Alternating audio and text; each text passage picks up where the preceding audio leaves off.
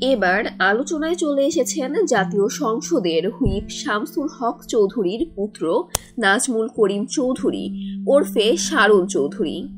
অত্যাধুনিক অস্ত্র দিয়ে গুলিবর্ষণের ভিডিও ছড়িয়ে বিতর্ক সৃষ্টি করেছেন তিনি নিজেই। ধারণা করা হচ্ছে, আতঙ্ক ছড়িয়ে অন্যদের ভয় দেখিয়ে দাপুটে অবস্থান তৈরি করতেই হুইপ পুত্রের এমন কাণ্ড। এছাড়া নিজের সামনে দামি মদের বোতল ছড়িয়ে রেখে ছবি তুলে সামাজিক যোগাযোগ মাধ্যমেও দিয়েছেন নিজেই। কারণ গত কয়েক বছর ধরে নিজেকে ধোয়া ছোঁয়ার বাইরে মনে করছেন শারুন চৌধুরী। প্রায়ই সরকারি গুরুত্বপূর্ণ ব্যক্তিদের নাম ব্যবহার করে ধমকা ধমকাধামকি করছেন।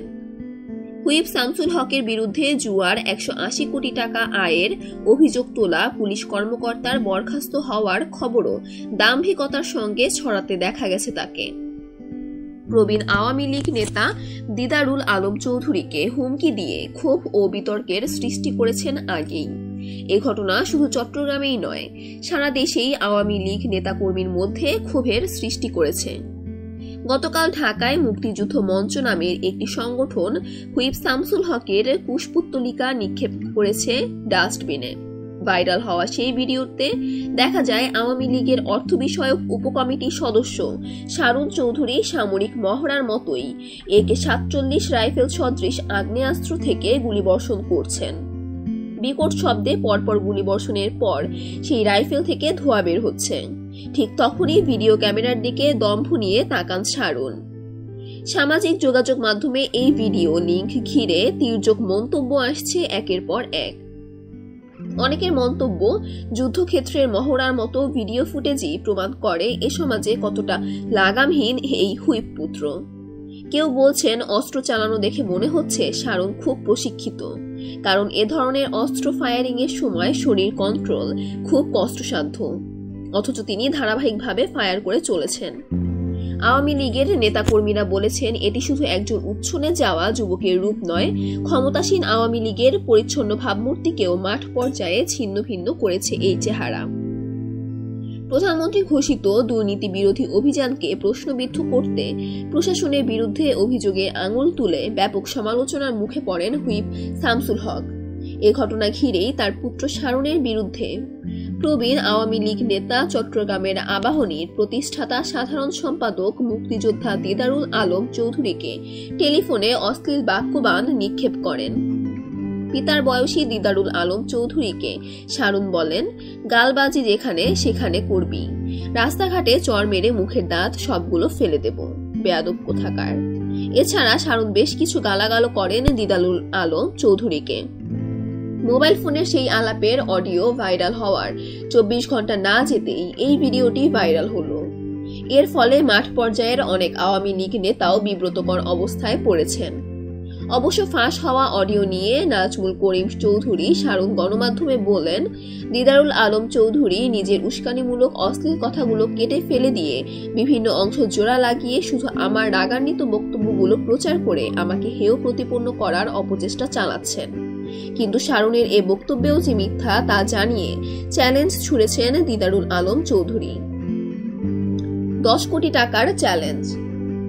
চট্টগ্রাম আবাহনী লিমিটেডের প্রতিষ্ঠাতা মহাসচিব নগর আওয়ামী লীগের যুব ও ক্রীড়া সম্পাদক দিদারুল আলম চৌধুরী বলেছেন, উনিশশো চুরাশি সালের একুশ জানুয়ারি আমার শিশুপুত্র মোহাম্মদ জাবের চৌধুরী এক মাস সাত দিন বয়সে মৃত্যুবরণ করলে, তার দাফন ছেড়ে আমি ক্রিকেট দল নিয়ে ফাইনাল খেলায় মাঠে নেমে বিজয় দিবস ক্রিকেটে চ্যাম্পিয়ন হয়েছিলাম। গত শেখ কামাল আন্তর্জাতিক ক্লাব কাপ টুর্নামেন্ট চলাকালে শামসুল হক চৌধুরীর ছেলে শারুনের সঙ্গে উপরোক্ত বিষয়ে আলাপচারিতায় সে বলে, আঙ্কেল, আমার জন্ম হতো উনিশশো সালে। ওই মুহূর্তে আমি তাকে বুকে ধরিয়ে আমার ছেলে বলে সম্বোধন করি। তিনি আরও বলেন, মোবাইলে আলাপচারিতার বিষয়কে কেন্দ্র করে বিভিন্ন সংগঠন ও বিভিন্ন জনের পক্ষ থেকে তার বিরুদ্ধে ব্যবস্থা নেওয়ার চাপ সৃষ্টি করলেও ওই ছেলে সম্পর্কটি মনে এনে কিছু করিনি এবং কাউকে করতেও দেয়নি। তবে জুয়ার একটি ভাগে লাভবান হয়ে কোনো সন্ত্রাসী দিয়ে আমার উপর আক্রমণ করতে পারে ভেবে পাঁচ লাইশ থানায় একটি আবেদন করে রাখি। পরে বিভিন্ন মিডিয়ার মাধ্যমে জানতে পারলাম তার সঙ্গে কথোপকথনের অডিও রেকর্ডটি এডিট করা হয়েছে বলে শারুন দাবি করেছে। এটা জেনে নিশ্চিত হলাম যে রক্ত তার নিজস্ব গতিতেই চলে। এটাই স্বাভাবিক। অডিও রেকর্ডে একটি শব্দ যদি এডিট করা হয়েছে প্রমাণ মেলে, আমি দশ কোটি টাকার চ্যালেঞ্জ ঘোষণা করলাম। এছাড়া আমি তাকে বারবার কল করেছি বলে যে উক্তি করেছে, সে উক্তির পরিপ্রেক্ষিতে বলেছি, গত কয়েক বছরের মধ্যে তার সঙ্গে আমার মোবাইলে কথোপকথন হয়েছে কল লিস্ট থেকে প্রমাণে আরও দশ কোটি টাকার চ্যালেঞ্জ ঘোষণা করলাম। হুইপ শামসুল হকের পুষ্পতুলিকা ডাস্টবিনে নিক্ষেপ। পুষ্পতুলিকায় ঘৃণা প্রদর্শন এবং তা ঢাকঢোল পিটিয়ে ডাস্টবিনে ফেলে প্রতিবাদ জানিয়েছে মুক্তিযুদ্ধ মঞ্চ। গতকাল বিকালে ঢাকা বিশ্ববিদ্যালয়ের রাজু ভাস্কর্যের সামনে এক মানববন্ধনে এ প্রতিবাদ জানানো হয়। সংবিধান লঙ্ঘন ও শপথ ভঙ্গের অপরাধে জাতীয় সংসদের হুইপ শামসুল হক চৌধুরীকে দ্রুত অপসারণেরও দাবি জানিয়েছেন তারা। মানববন্ধনে মুক্তিযুদ্ধ মঞ্চের আহ্বায়ক ঢাকা বিশ্ববিদ্যালয়ের সমাজবিজ্ঞান বিভাগের অধ্যাপক আ. কম জামাল উদ্দিন বলেন, সরকার ও দেশপ্রেমিক আইন শৃঙ্খলা রক্ষাকারী বাহিনীর যে অভিযান পরিচালনা করেছে, তাকে আমরা স্বাগত জানাই। দেরিতে হলেও এ ধরনের অভিযান দুর্নীতিমুক্ত বাংলাদেশ গড়তে সাহায্য করবে। দলের ভিতর জায়গা করে নেওয়া কিছু অনুপ্রবেশকারী একের পর এক বিতর্কিত কর্মকাণ্ড দ্বারা দেশরত শেখ হাসিনার সফল অর্জনগুলো নষ্ট করে দেওয়ার অপচেষ্টা করেছে। জাতীয় পার্টি থেকে আসা নব্য হাইব্রিড নেতা, জাতীয় সংসদের হুইপ শামসুল হক চৌধুরী সম্প্রতি ক্যাসিনো ও জুয়া খেলার পক্ষে বক্তব্য দিয়ে রাষ্ট্রের বিপক্ষে অবস্থান গ্রহণ করেছেন। আমরা সরকারের কাছে অবিলম্বে তাকে গ্রেফতার ও কঠোর শাস্তির আওতায় আনার দাবি জানাচ্ছি। মানববন্ধন থেকে শামসুল হক চৌধুরীর অস্থাবর স্থাবর সম্পত্তির হিসাব প্রকাশের দাবি জানান বক্তারা। এ সময় মুক্তিযুদ্ধ মঞ্চের ঢাবি শাখার সভাপতি আমিনুল ইসলাম বুলবুল সাধারণ সম্পাদক আল মামুন উপস্থিত ছিলেন। সব ষড়যন্ত্র দাবি হুইপ শামসুল হক চৌধুরীর।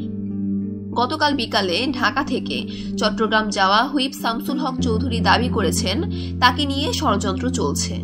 এই ষড়যন্ত্র বেশি দিন টিকবে না। চট্টগ্রাম শাহ আমানত রহমতুল্লাহ আন্তর্জাতিক বিমানবন্দরে হুইপ শামসুল হক চৌধুরী বলেন, স্থানীয়রাই জানেন আমি কোনো সময় জাতীয় পার্টি করেছিলাম কিনা। তিনি বলেন, প্রধানমন্ত্রী সব খোঁজখবর নিয়ে জেনে শুনেই আমাকে হ্যাট্রিক এমপি হওয়ার সুযোগ দিয়েছে। আরও নিত্য নতুন খবর পেতে চ্যানেলটি সাবস্ক্রাইব করে আমাদের পাশে থাকুন এবং আপনার মূল্যবান মন্তব্য কমেন্টসে লিখে জানান।